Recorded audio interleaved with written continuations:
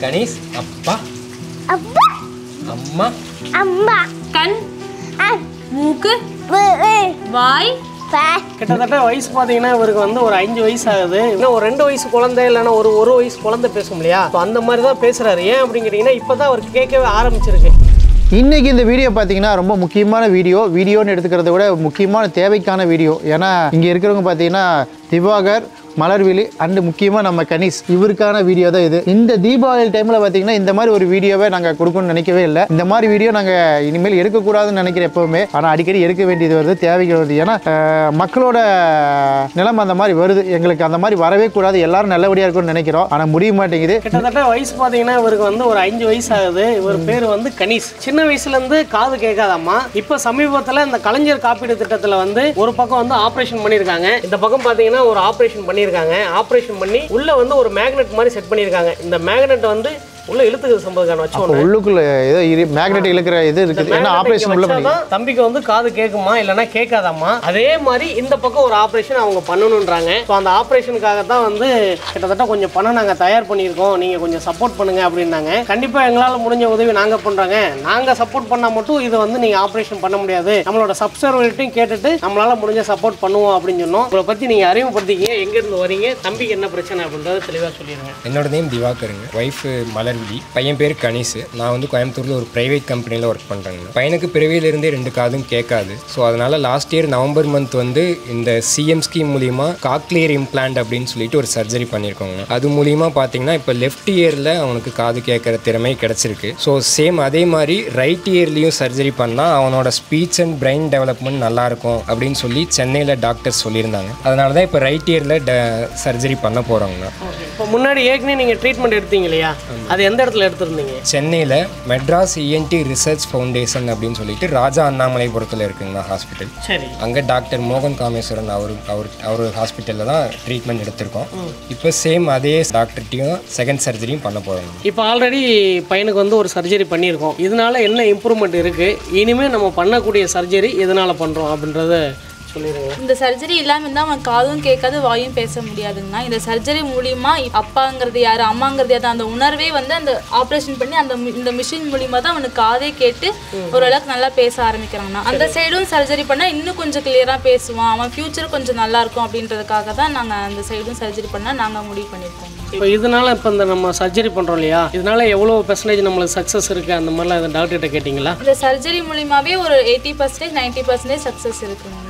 இந்த சைடுமே சர்ஜரினா hundred percentage அவன். நம்ம நார்மல் பீப்புள்ஸ் எப்படி பேசுவாங்களோ எப்படி ஐடென்டிஃபை பண்ணுவாங்களோ அதே மாதிரியே அவன் அவன் இருப்பான் அப்படின்ற அளவுக்கு நான் டாக்டர் சொன்னதால நாங்களும் முடிவு பண்ணியிருக்கோங்கண்ணா குழந்தைய அப்படின்னோன்னா எல்லாருமே என்ன நினைப்போனா அதை ஆடி ஆடி ஓடி அதோட மழலை பேச்சு அதெல்லாம். இப்போ இந்த பையன்கிட்ட நம்ம பேசும்போது தெரியுது. அவனோட எப்படின்னு கேட்டிங்கன்னா ஒரு ரெண்டு வயசு குழந்தை இல்லைன்னா ஒரு ஒரு வயசு குழந்தை பேசும் இல்லையா? ஸோ அந்த மாதிரி தான் பேசுகிறாரு ஏன் அப்படின்னு கேட்டிங்கன்னா இப்போ தான் அவர் கேட்கவே ஆரம்பிச்சிருக்கு. இன்னொரு காதலையும் ஆப்ரேஷன் பண்ணிட்டா கொஞ்சம் நல்லா கேட்கும் அப்படின்றது தான் இவர் வருது. இந்த கொட்டேஷன் என்ன சொல்லியிருக்காங்க? இந்த இதில் என்ன சொல்லியிருக்காங்கன்னா ஃபஸ்ட்டு இந்த மிஷினோட காஸ்ட் சொல்லியிருக்காங்கன்னா இந்த மிஷினோட காஸ்ட் வந்து பதினஞ்சு லட்சத்தி இருபத்தி ரெண்டாயிரத்தி ஐநூறுரூவா வருது. இந்த சேம் ஹாஸ்பிட்டலில் ரெண்டாவது சர்ஜரி பண்ணுறதுனால ஹாஸ்பிட்டலில் ரெக்வஸ்ட் பண்ணி கேட்டிருந்தாங்க. அதில் a seven point five percentage reduction பண்ணி அந்த மிஷின் காஸ்ட் வந்து பதினாலு லட்சத்தி எட்டாயிரத்தி முந்நூற்றி பன்னெண்டு ரூபாவா குறைச்சிருக்காங்க.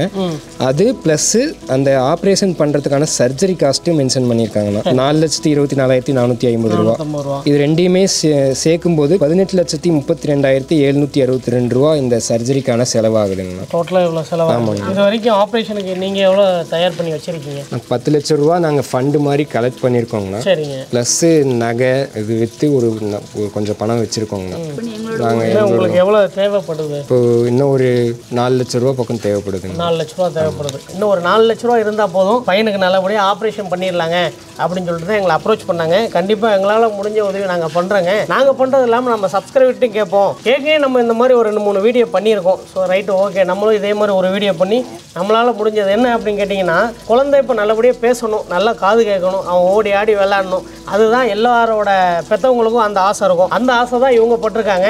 ஒரு காது நம்ம வந்து கலைஞர் காப்பீட்டில் பண்ணிட்டோம் இன்னொரு காது நம்ம பண்ணிட்டோம் அப்படின்னா நம்ம குழந்தையோட சந்தோஷமா இருக்கலாம் அப்படின்னு சொல்லிட்டு கண்டிப்பாக இதுக்காக எங்களால் முடிஞ்ச உதவி நாங்கள் கண்டிப்பாக பண்ணுறோம் சம்பத் கான் அந்த அமௌண்ட்டை கொடுத்துருங்க சம்பத் கான். எங்களால் முடிஞ்ச உதவி நாங்கள் சிறு உதவி தான் பண்ண முடியும். அதோட பெரு உதவி நீங்கள் உங்களால் தான் முடியும். குழந்தைய நல்லபடியாக நீங்கள் காதுகாக கேட்கணும். கேட்க வச்சுட்டு ஒரு டைம் கூட்டிகிட்டு வரணும். சரிங்களா? கண்டிப்பாக நம்ம கனிஸோட பார்த்தீங்கன்னா எல்லா மெடிக்கல் டாக்குமெண்ட்டும் நாங்கள் ஸ்க்ரீனில் தரோம். நீங்கள் பார்த்துங்க ஒரு டைமு சார் இப்போ நம்ம சப்ஸ்கிரைப் பார்த்து நம்ம ஏதாவது ஹெல்ப் பண்ணணும்னு நினைப்பாங்க. ஹெல்ப் பண்ணோன்னா உங்கள் அக்கௌண்ட் நம்பரு ஜிபே நம்பர் எதாக இருந்தால் சொல்லுங்களேன். என்னோட மொபைல் நம்பர் தான் என்னோட GPay நம்பருங்க nine six two six two six zero one nine one இந்த மொபைல் நம்பர் தான் என்னோட ஜிபே நம்பருங்க. கண்டிப்பாக இவரோட ஜிபே நம்பரும் இவரோட அக்கௌண்ட் நம்பரும் டேரெக்டாக நாங்கள் ஸ்க்ரீனில் கொடுத்துறோம் டிஸ்கிரிப்ஷனில் கொடுத்துறோம்.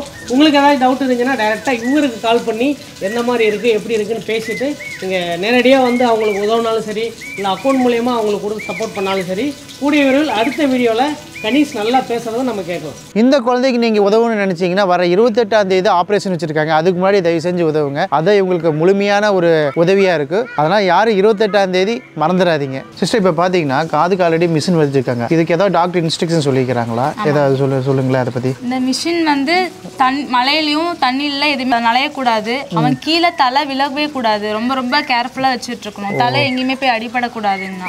இடிச்சுக்க கூடாது கீழே விழக்கூடாது. மற்ற குழந்தைங்க ஏதாவது வந்து அவனை இடிச்சிடக்கூடாது. ரொம்ப ரொம்ப கேர்ஃபுல்லா பார்த்துட்டு இருக்கணும்னா. இதுதான் ஆப்ரேஷன் பண்ணியிருக்காங்க. இதை கிழிச்சு உள்ள இருக்கிற நரம்பை குடஞ்சு அந்த உள்ள ஒரு மேக்னெட் மாதிரி வச்சிருக்காங்க. உள்ள இதுக்குள்ளே ஒரு மிஷின் இருக்குங்க அதனால இங்கே வச்சோன்னா அப்படியே ஒட்டிக்குதுங்களா? ஆமாங்க. அதான் இங்கெல்லாம் ஒட்டுறது இல்லைங்க. மேக்னெட் இருக்குங்க. அதான் உள்ள மிஷின் உள்ள பையனுக்கு வலிக்கும் போல இருக்கு சாரிடா தம்பி அப்போ உள்ளுக்குள்ளே ஒரு ஆப்ரேஷன் பண்ணி தான் உள்ள உள்ள ஆப்ரேஷன் பண்ணி உள்ளேயே ஒரு மிஷின் வச்சிருக்காங்கண்ணா அது உள்ள மிஷின் மூலியமா தான் இந்த வெளியே இருக்கிற மிஷின் இது தாங்கிட்டு இருக்கு. இப்போ எப்போவுமே இந்த மிஷின் இருக்கணுமா? எப்படிங்க இது? இவன் அவன் கடைசி வரைக்குமே இந்த மிஷின் இருந்துகிட்டே தான் இருக்கணும். இந்த மிஷின் தான் அவனுக்கு காதுங்கண்ணா நமக்கு இயற்கையான காது அவனுக்கு செயற்கை காதுங்க அவ்வளவு. கணேஷ் உனக்கு என்ன சாப்பிட பிடிக்கும்? நீ வரையில் என்ன சாப்பிட்ட? எத்தனை பண்ணு சாப்பிட்ட? One. ஒன்னா டூவா one, எத்தனை பண்ணு? ஒன்னா டூ சாப்பிட்டியா? டூ பண்ணு சாப்பிட்டியா? அங்கிளுக்கு எடுத்துட்டு வரலையா? அங்களுக்கு எடுத்தது எங்களுக்கு. பத்தாது. ஏதாங்க? நாளைக்கு எடுத்துட்டு வரீங்களா? ஓகே ஓகே ஏ, இல்ல ஓகே.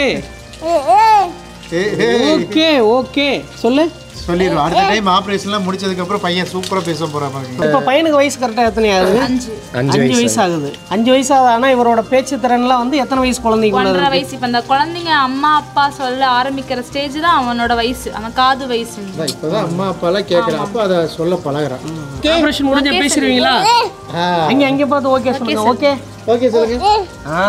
ஓகே அவர் பேசிடுவாராம்மா இன்னும் ஒரு வருஷத்துல. நாங்கள் வந்து சம்பத் அண்ணனையும் சிவகண்ணன் அண்ணனையும் இப்போ பார்க்க வந்திருந்தோம். ஆக்சுவலாக இந்த பையனுக்கு இந்த மாதிரி காது சர்ஜரி பண்ணுறதுக்காக அண்ணங்கிட்ட ரெண்டு பேர்த்திட்டையும் கேட்டதும் உடனேவே நேற்று தான் கேட்டிருந்தோம். கண்டிப்பாக உதவி பண்ணுறேன்னு சொல்லி. இவ்வளோ பெரிய தொகையும் அவங்க கொடுத்து உதவி பண்ணியிருக்காங்க. அது இல்லாமல் அவங்க சேனல்லையும் நாங்கள் டெலிகாஸ்ட் பண்ணுறோம் நம்ம சப்ஸ்கிரைபர்ஸ்கிட்ட கேட்போம். அவங்க எல்லாரும் உதவி பண்ணுவாங்க அப்படின்னு சொல்லியிருந்தாங்க. அதுக்காக தான் இந்த வீடியோ பண்ணிட்டு இருக்கோம் உங் உங்களால் முடிஞ்ச உதவி சின்ன உதவியாக இருந்தாலும் பண்ணி கொடுங்க. எங் எங்கள் குழந்தைக்காக பண்ணி கொடுங்க. எங்களுக்கும் ஒரு அப்பா அம்மா ஜென்ரல் காமன் ஒரு அப்பா அம்மா மாதிரி எங்களோட குழந்தையும் நல்லபடியாக காது கேட்டு அவன் நல்ல ஒரு பெரிய ஸ்கூலில் படித்து முன்னேறி வரணும்னு ஆசை எங்களுக்கு. உங்களால் எவ்வளோ எவ்வளோ முடியுமோ அவ்வளோ கொடுத்து எங்களுக்கு சந்தோஷம். ரொம்ப ரொம்ப சந்தோஷம். ரொம்ப நன்றி. இப்போ நடக்கிற ஆப்ரேஷனுக்காக தினமலரில் பார்த்தீங்கன்னா ஆட் கொடுத்துருக்காங்க. அதை வந்து உங்களுக்கு ஸ்க்ரீனில் காட்டுறேன். அது மட்டும் இல்லை க்ரௌட் ஃபண்டிங் ரெடி பண்ணிக்கிறாங்க ஆன்லைனில் அது மூலமாக ஒரு குறிப்பிட்ட தொகை கிடைச்சிருக்குது. இப்போ நம்ம மூலமாக ஒரு சின்ன தொகை கிடைச்சிருக்குது. இது மட்டும் பத்தாது இன்னொரு ஃபோர் லேக்ஸ் பக்கம் உங்களுக்கு தேவைப்படுதுங்கிறாங்க. நம்ம சப்ஸ்கிரைபர் உங்களால் முடிஞ்ச உதவியை சிறு தொகையாக இருந்தாலும் அது பத்து ரூபாயா இருந்தாலும் நூறுரூவா இருந்தாலும் ஆயிரம் ரூபாய் இருந்தாலும் முடிஞ்ச வரைக்கும் இந்த அக்கௌண்ட்டில் கண்டிப்பாக டெபாசிட் பண்ணுங்கள் கண்டிப்பா இதோட இந்த வீடியோ முடிச்சுக்கிறோம். இந்த வீடியோ வந்து எல்லாருக்கும் ஷேர் பண்ணிடுங்க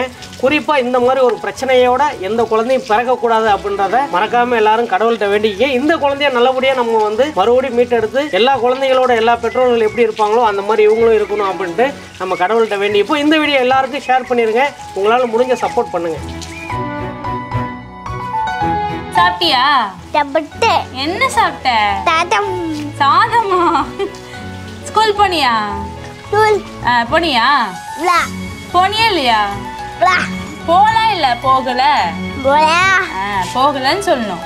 ஓகே பாய் சொல்லுங்க பாய் சொல்லு பாய்